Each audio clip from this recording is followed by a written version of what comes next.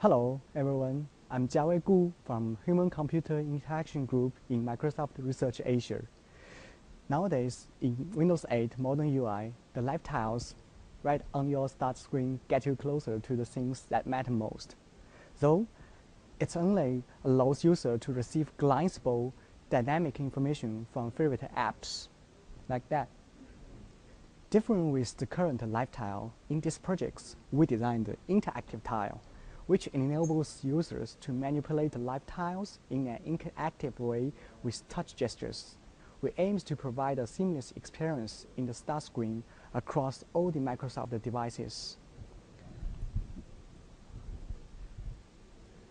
Let me introduce some details of our designs through live demos. Now you can see here's the live tiles in the start screen. But what we did design here, new interface, we can spend this into this view. It's an interactive tile view. So you can see, we can see the all email list here as a notification center. In this way, we utilize the interactive tile as the notification dashboard of the application. This is one good example. Let me show you the mail list. For example, I want to get into the specific uh, this email. I can click onto it and directly go to that email in view. Otherwise, I can also go to another one directly to that email. What's more here, you can see this is our new design desktop like interactive tile. So you can see even the clock and the running app in the desktop. And also you can see here, all the running programming in the desktop model now is here.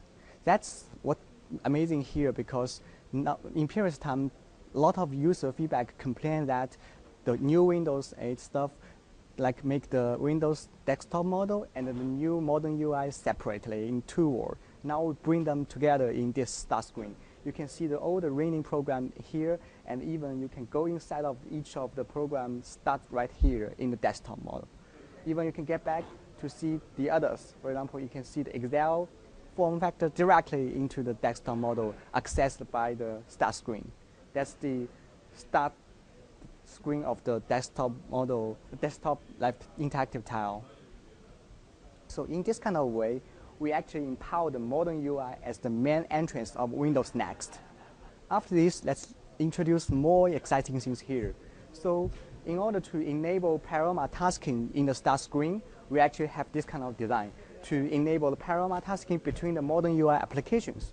For example, if I attribute this weather, you can see the whole week of the weather you can go to each of one to expand to see different weather, or you can directly jump into the full screen app to see more contents in the full screen application. But maybe it's too much for you, you can get back to see only some different kind of day of the weather. In the meanwhile, you can also see the highlights of the news of the day and also the finance news of the day. What's more, you can also even play the music when you are checking the newspaper like, uh, like that. This is your music playlist, and you can also expand this through this bar to see the lyrics and play the music like that.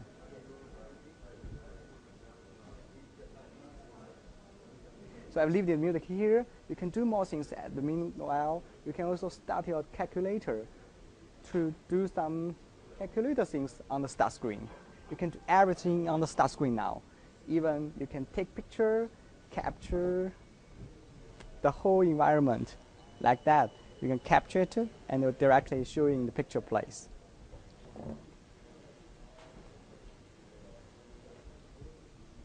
So this is one feature of the parallel tasking in the start screen screen. In the other ways, we have also another parallel tasking through the interactive tile with the full screen app or with the desktop model app. Let me show you here around in this PC scenario. So in this PC scenario, I'm going to show you another parallel tasking feature. For the parallel tasking, we have one more feature here. Except the multitasking between the tiles, we also make the, it happens between the interactive tile and the full screen app. See here, this is in desktop model. We can actually use the interactive tile here in the sidebar. So the interactive tile here in the sidebar, you can actually this one is the OneDrive.